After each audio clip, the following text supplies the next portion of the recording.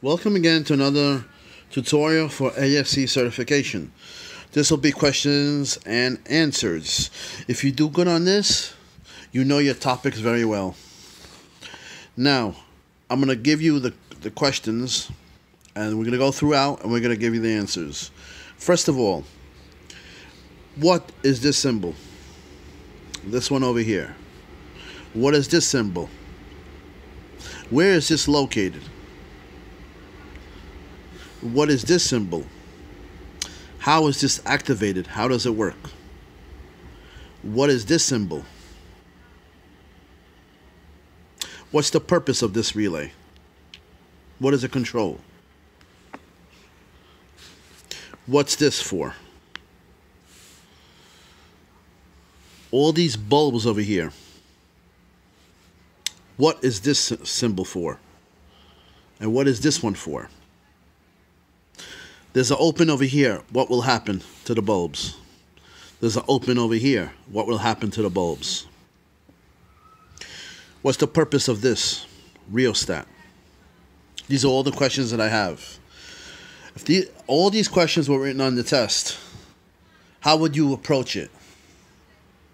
First thing is analyze the schematic, know how it works, then you can troubleshoot it.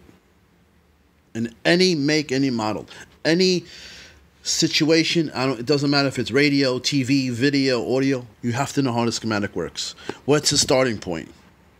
Let me ask you that. I can start from here, from B plus, and go through the whole thing. But what catches my eye? What gets my attention right away? This catches my eye, a rheostat. What's the purpose of a rheostat? If you remember the beginning of the videos, I made videos about potentiometers, pots they're called, and rheostat. Rheostat is a variable resistor that you can change the value of it. You can make it 100 ohms to 500 ohms, 120 ohms, 140. You can you can turn it and you change the resistance. What's the difference, you might ask? A resistor has a set value. If you have a resistor R1, it's set at 100 ohms. You have another resistor, it's set at 200 ohms, and that's it. You cannot change it. This, you can change the resistance depending on the value. It could go from 100 to 1,000 ohms. Anywhere in between, you can change the resistance. Why do I bring that point up? When you change the resistance, what happens? And this is important for the ASE. You're changing the current, the amount of current. Correct? If you if you're lowering the resistance in the circuit, you're increasing the current. If this would be resistant resistors, a total resistance is this plus this.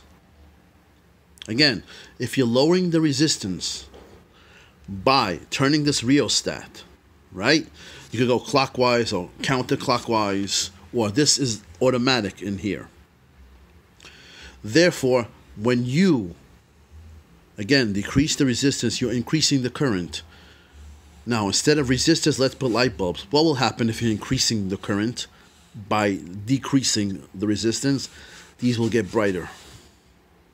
Doesn't that remind you of something? I had a previous video that we had a rheostat over here. And if you remember what I said was, this is a dimmer switch. That's all it is. When you're in your car and you control your dimmer switch, you're turning it, what are you doing?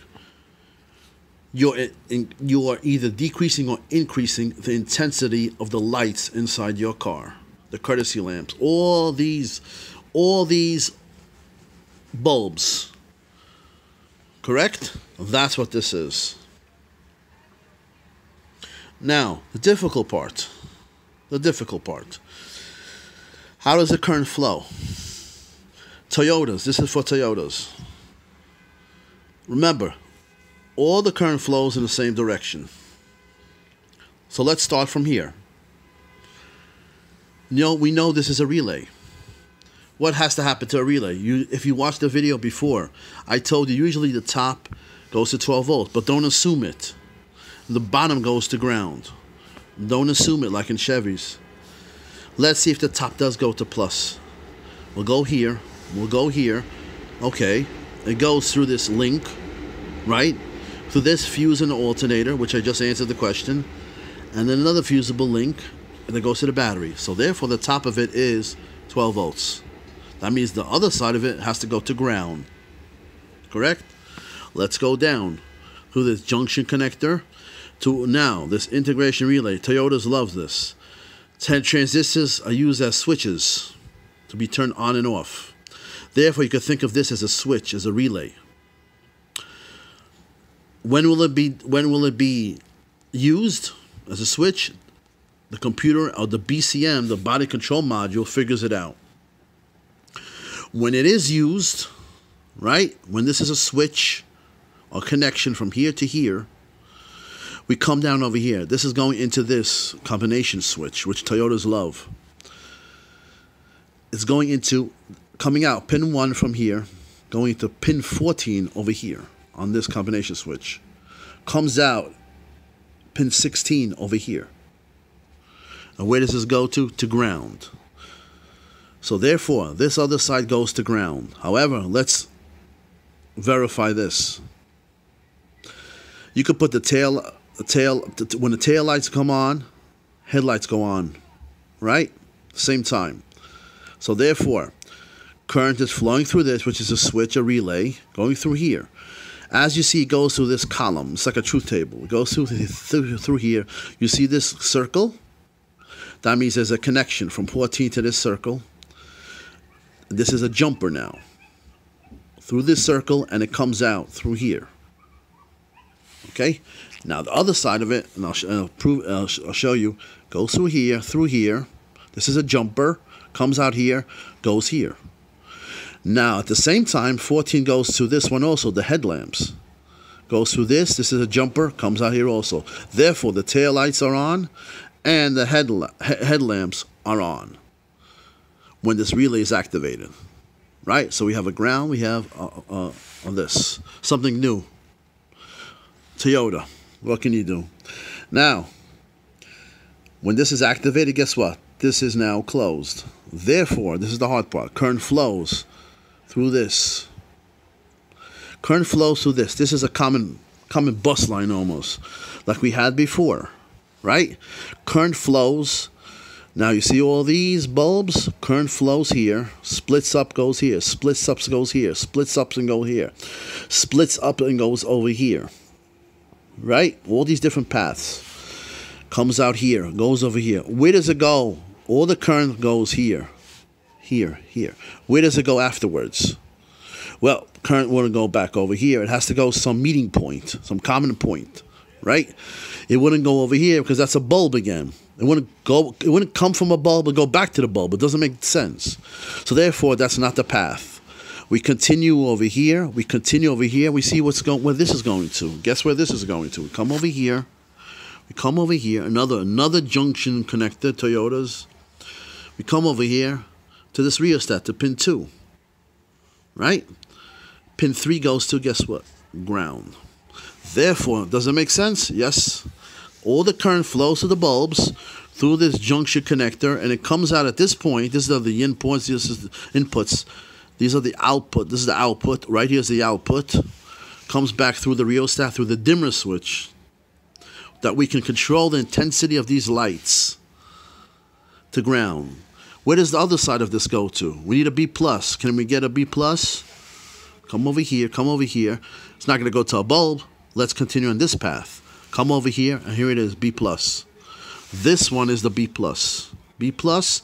this is the ground. This is the control for it. This is how we control the dimmer switch, the resistance of it. What about the other side? Right? We said current flows here. What about current flowing over here? Through here, through this, through this, right? Through this to give it the B+, plus, through this, through this, through this. Where's where are they all going to meet? All the currents went here. Where are the currents going to meet? They all come here, come here, and they all come to this junction connector. And where do they all go? Guess what? This is the light green that I put over here. See the light green? The light green means they're all connected coming out here. They're all going over here. Guess where they're going again? To the rheostat. All of this going to the rheostat. So what, so what happens? All these bulbs are connected to the rheostat. Does that make sense? Yes, because it's a dimmer switch that's controlling all the intensity of these light bulbs. Okay? I asked you in the very beginning, ASE certification. The test is in front of you. What's the symbol? FL, fusible link, right? This is the main one. I asked you again, what's this for? Another fusible link, right? Where's it located? Fusible link box. That's where it's blocked. This is where it's located. What's the output terminals? One and two. Pins one and two are the pins, right? Terminals are F. I asked you then again, what's this for? What's this relay for? This is for the tail lights. It says it right here. Okay? I asked you again, where's the ground for this? Right through this. This is the ground to activate it. When this is switched on, actually this is a diode, it'll be probably 0.7 volts. So you probably measure about 0.7 volts here to ground, which is not really that important. How much will I measure over here? ASE certification, 12 volts, right? The other side will be close to ground zero, but because of this diode, maybe 0.7, which is negligible. Anyway, how much over here? 12 volts. How much over here? 12 volts. Why? We don't lose any voltage through a switch, right? How much over here? 12 volts. And what's this what's this symbol for? a fuse. See the difference? As we stressed before, know your symbols well for this for the test. Know your symbols very well. Okay? This is a transistor. This is a diode. Now, we came over here, we came over here, right? And we went through all the current paths. Where's the symbol? Where is the symbol for the air conditioner switch? Which bulb? This one. Where's the symbol for the rear window def defogger, the defroster? This one. It says it right here, right? What about the radio? This one. This one. Now, I ask you another question. Now, if this one is open, if this bulb is if this bulb is open, would it affect the other ones? No. Current can still flow through the other ones. If this bulb is open, can it still affect the other ones? No, the other ones will still will still be lit. The one the bulb that's open or burned out will affect only that circuit, and the other ones can still remain. And isn't that true? when you go to on your car, uh, when one bulb is out, the other ones work. Correct? Now, problem with this junction connect connector. There's a problem over here. There's a break over here. What will happen? What would be the result of that? If they ask you an ASE certification test, it's open over here. What does that mean? That means all of these bulbs will be out.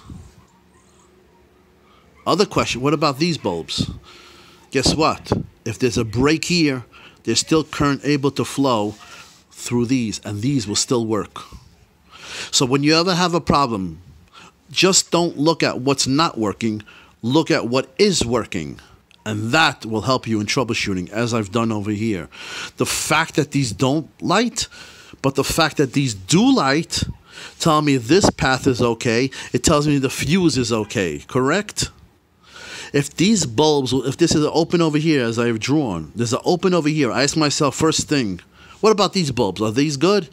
If these are lit, that means the fuse is good. If these are, if there's a break over here, these will not be lit. Right? But these will be lit. I just cut. I didn't even put a multimeter. I didn't even put 12 volts. I didn't have to do it because the schematic is my guide and it tells me how to troubleshoot and I cut down the time. All these schematics that I do these videos, I'm not even putting a multimeter on it, not even a scope, nothing. All I'm doing is pure troubleshooting and interpretation, analysis from this. This is my guide, this is my roadmap, right? Therefore, again, if there's a break over here, it will affect these. It will not affect these. That's the answer to that question when I asked you if this is open. If this is open over here, how about everything else? This will work. This will work. This one will not work. This bulb will not work. Right? I have a problem now. I go to my car, all the bulbs are on. All the bulbs are on, right? I play with the with the with the with the dimmer switch. I try to control the intensity. Doesn't happen. The the intensity is still the same right? They're all lit.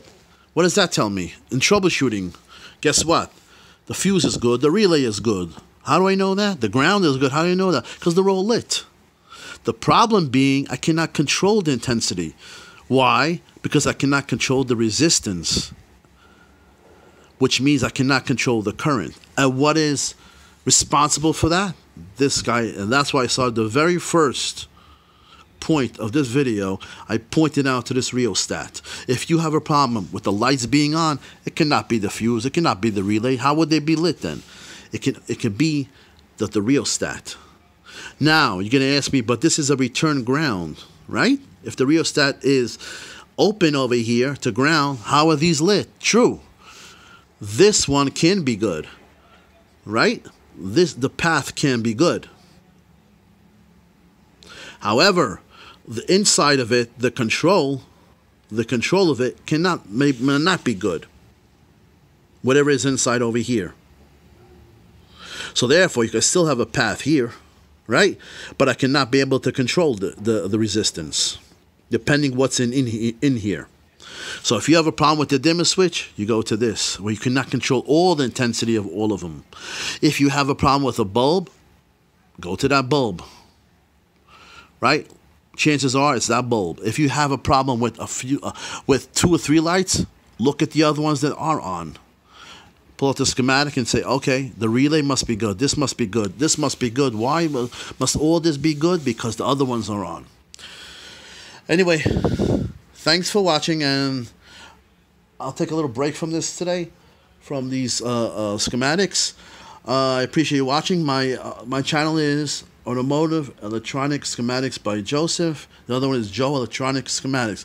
Please watch them about transistor, uh, Ohm's Law, for basic electronics for students that I know that have been watching from uh, certain colleges, vocational colleges, um, electronic, uh, electrical engineers. I actually, they told me they watch these videos and find them helpful. That is humbling, believe me, and that is a great compliment when you have electrical engineers watching your tutorials.